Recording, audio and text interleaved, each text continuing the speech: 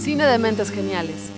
Jorge Michel Grau no sabía que iba a estudiar cine hasta que vio Cronos, ópera prima de Guillermo del Toro que transformó la manera en la que el cine retrató por años a los vampiros. Cuando Michel Grau conoció la genialidad de Guillermo del Toro, supo que quería contar historias fantásticas con una cámara. Lo hizo con tanta pasión que su primera película, Somos lo que hay, llegó al Festival de Cannes. Jorge Michel Grau también revolucionó el género de terror. Cronos es una película fundamental en, la historia del cine mexicano. Es una historia que reinventa el género mexicano de terror.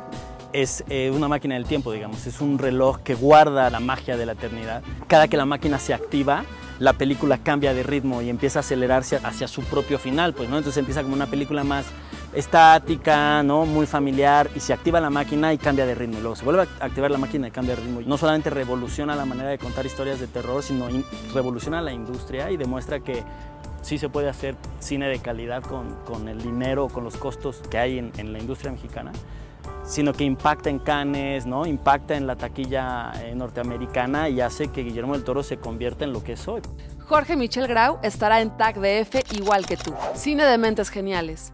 Como Jorge Michel Grau, después de ver Cronos, no serás el mismo. TAC DF, 3 y 4 de julio en el Centro Banamex. Boletos a la venta al 53 25 9000.